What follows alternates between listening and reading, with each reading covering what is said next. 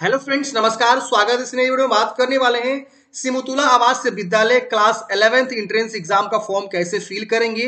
Step by step मैं आपको जो एक लाइव फॉर्म फिल करके बताने वाला हूँ, ताकि आपको फॉर्म फिल करने में किसी प्रकार की मिस्टेक ना हो। अगर आप दसवीं पास हैं और आप जो है ग्यारहवीं क्लास में एडमिशन लेना चाहते हैं सिमुतुला आवास विद्यालय में तो आपको जो है अप्लीकेशन फॉर्म आ चुका है। आप फॉर्म को फिल करेंगे इंट्रेंस एग्ज़ाम होगा। इंट्रेंस के बेस पे आपका सिलेक्शन होगा। तो फ्रेंड्स देख सकते हैं ये इसका जो है ऑफिशियली नोटिफिकेशन जो है बिहार विद्यालय परीक्षा समिति के द्वारा जारी कर दिया गया है। 2017 22 24 के लिए, क्लास 11th में एडमिशन के लिए देख सकते हैं यहाँ पे जो है, ये नोटिफिकेशन जारी किया गया है मैट्रिक पास होना चाहिए।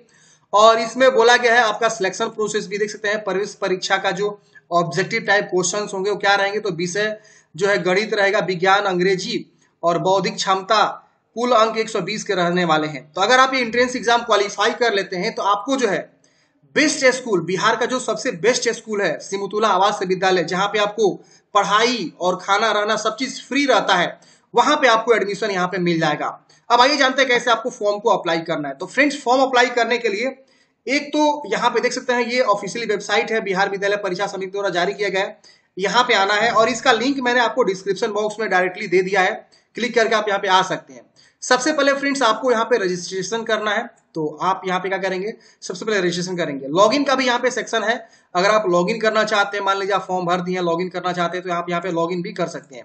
तो यहाँ पे आपको देखिए, आना है इस वेबसाइट पे और इस वेबसाइट का मैं डायरेक्टली लिंक आपको दे दिया हूँ। यहाँ पे देखिए फ्रेंड्स आपको जो है देख सकते हैं, यहाँ पे ऑप्शन मिल रहा है। Admission test 2022 for class 11 session 22 24 register का भी है और ऑलरेडी आप रजिस्टर किए हैं तो अप्लाई का भी ऑप्शन है। और यहाँ पे इसका लास्ट डेट दिया है छब्बीस नौ दो तक आप फॉर्म को अप्लाई कर सकते हैं। तो सबसे पहले आप रजिस्टर हेयर पे क्लिक करेंगे, जैसा आप इस पे क्लिक करेंगे, आपका यहाँ पे रजिस्ट्रेशन फॉर्म खुल के आ जाएगा और थोड़ा सा वेबसाइट आपको धीरा भी देखने को मिलेगा और उसके बाद यहाँ पे डोमिसाइल चूज़ करने का बिहार के निवासी है यस करेंगे। आपका डिस्ट्रिक्ट कौन सा है डिस्ट्रिक्ट चूज़ करेंगे कि आप किस डिस्ट्रिक्ट से बिलोंग करते हैं। उसके बाद यहाँ पे आपका नाम क्या है कैंडिडेट्स नेम उसके वजह से ब्लॉक भी आपको यहाँ पे चूज़ करने का आएगा। मदर्स नेम यहाँ लिखना है, यहाँ पे फादर्स नेम यहाँ कैटेगरी बतानी है जनरल है ईडब्ल्यू से एस सी या बीसी ईबीसी क्या सी कैटेगरी से बिलोंग करते हैं।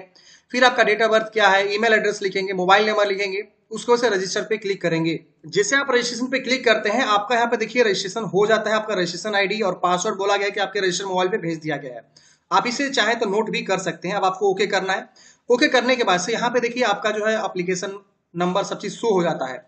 और ये जो मैं आपको फॉर्म भर के दिखा रहा हूँ फ्रेंड्स ये डेमो के तौर पे दिखा रहा हूँ तो आप सीरियस मत लीजिए, मैं किसी का पर्सनल जानकारी यूज़ नहीं कर रहा हूँ। अब यहाँ पे देखिए एक्शन यहाँ पे ऑप्शन आ रहा है। अब आपको यहाँ क्या करना है? फिल या एडिट का ऑप्शन मिल रहा है। तो सबसे पहले आप फिल एडिट पे क्लिक करेंगे तो ये ऑटोमेटिक जो है फॉर्म फिलअप के लिए आपको रीडायरेक्ट कर देगा। देखिए, यहाँ पे फॉर्म फिलअप ओपन हो रहा है। थोड़ा सा समय लगेगा। आपको ये वेबसाइट बिहार बोर्ड का, आपको पता ही है, धीरा ही चलता है। अब देखिए यहाँ पे फॉर्म फिलअप के लिए आ गया है। आपको सबसे पहले यहाँ पे पूछ रहा है कि आप विकलांग है तो बताए, नहीं है तो नो करें। अब यहाँ पूछ रहा है कि विकलांगता रहेंगे तो अपना परसेंटेज बताएँगे। नेशनलिटी और इंडियन रहेगा। और यहाँ पे आपको पूछ रहा है कि प्लीज़ मेंशन आधार नंबर आपको यहाँ पे आधार नंबर जो है मेंशन करना है, बारह डिजिट का जो होता है, फिर आपको नीचे आनी है। अब यहाँ पे आधार नंबर मेंशन करने के बाद आपको यहाँ पे जो है टिक कर देना है डिक्लेयर कर देना है, फिर यहाँ पे आपको जो है मैट्रिक की जानकारी पूछनी है कि आप किस विद्यालय से मैट्रिक पास आउट किए हैं, बोर्ड का नाम क्या है, रोल कोड क्या है, रोल नंबर क्या है, पासिंग ईयर क्या है। यहाँ पे आपको मार्क्स ऑप्टेंड कितना आपको मार्क्स मिला है, अगर आप सेकेंड डिवीज़न है, थर्ड डिवीज़न है तो भी आप फॉर्म को अप्लाई कर सकते हैं। आपका जो यहाँ पे सिलेक्शन होता है इंट्रेंस एग्ज़ाम के बेस पे होता है। समझ में आ गया ना? तो आप अपने अकॉर्डिंग बता सकते हैं जो भी आपका इंट्रेंस एग्ज़ाम मतलब जो भी आपका मार्क्स मिला है। परसेंटेज बता सकते हैं, यहाँ पे परसेंटेज बताना ही है। उसके बाद यहाँ पे आपको अपना जो है एड्रेस लिखना है, जैसे क्रोसपेंडस एड्रेस जिस तरह से आधार कार्ड पे आपका प्रॉपर एड्रेस है, आप उस तरह से एड्रेस को अच्छे से लिखेंगे सिटी यहाँ चूज़ करेंगे। यहाँ पे पिन कोड लिखेंगे अपना एड्रेस का। अब आपका जो है कोरोस्पेंडेंस एड्रेस सेम सेम है परमानेंट की तरह तो सेम सेम यहाँ पे टिक करेंगे सेम सेम कॉपी हो जाएगा। अब यहाँ पे जो है कैंडिडेट्स का फोटोग्राफ यहाँ पे अपलोड करनी है, यहाँ पे चूज़ करेंगे फोटोग्राफ यहाँ पे, आ जाएगा सिलेक्ट होकर अपलोड पे क्लिक करेंगे अपलोड हो जाएगा।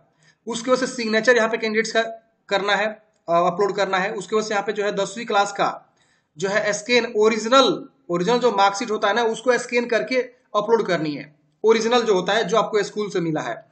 वो ओरिजिनल उसके बाद से बोल रहा है कि please select the original scan certificate for proof of date of birth अब फिर से यहाँ पे ओरिजिनल जो है सर्टिफिकेट भी आपको यहाँ पे क्या करना है? यहाँ पे अपलोड करना है। तो यहाँ पे देखिए, यहाँ पे बोला गया है equivalent marksheet to be uploaded marksheet या सर्टिफिकेट दोनों में से कोई भी अपलोड कर सकते हैं।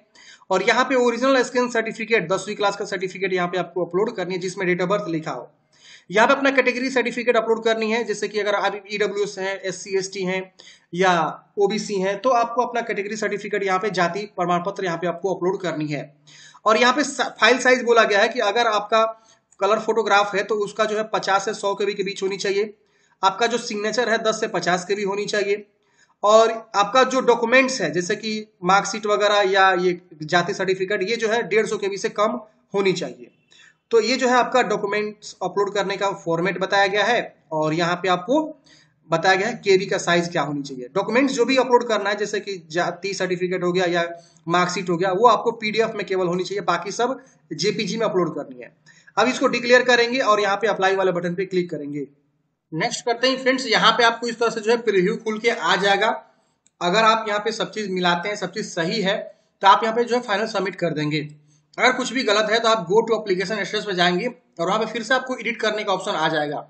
चलिए यहाँ पे करते हैं फाइनल सबमिट जैसे आप सबमिट पे क्लिक करेंगे आर यू श्योर कराएगा? सबमिट पे क्लिक करेंगे।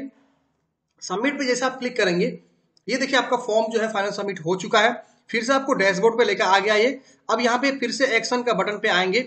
अगर आप देखना चाहते हैं अपना अप्लीकेशन फॉर्म कैसे आपने भरा हुआ है तो आप व्यू फॉर्म पे क्लिक करके देख सकते हैं। अगर आप कुछ भी एडिट करना चाहते हैं तो एडिट भी कर सकते हैं।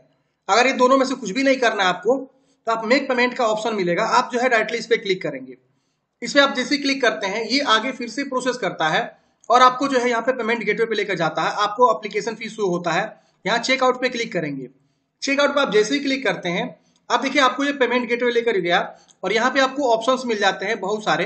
जैसे अगर आपके पास HDFC बैंक का डिटेल्स है HDFC बैंक का कार्ड यूज़ करते हैं तो ये दोनों में से कोई क्रेडिट कार्ड है तो ये वाला ऑप्शन डेबिट कार्ड है तो ये वाला ऑप्शन अदर बैंक का है एचडीएफसी के अलावा तो ये ऑप्शन और अदर बैंक डेबिट कार्ड है तो ये वाला ऑप्शन बाकी नेट बैंकिंग का भी है यूपीआई का भी ऑप्शन अगर आप यूपीआई चूज़ करेंगे तो यहाँ पे देखिए फ़ोन पे या गूगल पे अदर यूपीआई व्हाट्सअप पेटीएम बहुत सारे ऑप्शन यूपीआई आ जाएँगे. और नेट बैंकिंग है तो नेट बैंकिंग चूज़ करेंगे. यहाँ पे बैंक भी चूज़ कर सकते हैं. नेट बैंकिंग चूज़ किए तो बाकी भी बैंक यहाँ पे देखिए आ रहा है. अब जिस भी बैंक से यहाँ पे पेमेंट जमा करना चाहते हैं नेट बैंकिंग वो आप चूज़ करेंगे. मेक पेमेंट पे क्लिक करेंगे, आपको जो है पेमेंट जमा हो जाएगा। तो इस तरह से फ्रेंड्स आपको जो है फॉर्म को अप्लाई करना है। उम्मीद करता हूँ आपको जानकारी समझ में आ गया होगा। मैंने डायरेक्ट लिंक आपको डिस्क्रिप्शन बॉक्स में दिया हुआ है। आप इस पे आएँगे, यहाँ पे आने के बाद से जो है रजिस्टर कर सकते हैं। अगर आपको देखना है ऑलरेडी रजिस्टर है आप तो आप यहाँ पे क्लिक करके जो है लॉगिन का जो है सेक्शन खुल जाता है। यूज़र नेम मोबाइल नंबर हो जाएगा पासवर्ड ओटीपी आप मोबाइल में आएगा लॉगिन कर सकते हैं। और बाकी का जो है आगे का जो है कंटिन्यू कर सकते हैं। अगर आप आधा अधूरा फॉर्म भर के छोड़ देते हैं उस केस में। और ज़्यादा जानकारी के लिए फ्रेंड्स आप जो है, इस चैनल को सब्सक्राइब करके रखिएगा। इन द फ्यूचर जब भी मैं वीडियो लाऊं, आपको तुरंत मिल जाए। वीडियो अच्छा लगा हो तो लाइक कर दीजिएगा। और ये भी नोटिफिकेशन मैं अपने टेलीग्राम में शेयर कर दूँगा। वहाँ से आप इसे डाउनलोड कर सकते हैं। इसमें काफ़ी सारी जानकारी दी हुई है। आप इसे अपने स्तर से एक बार ज़रूर पढ़ लीजिएगा फॉर्म भरने से पहले, ताकि आपको सारी जानकारी अच्छे से समझ में आ जाए।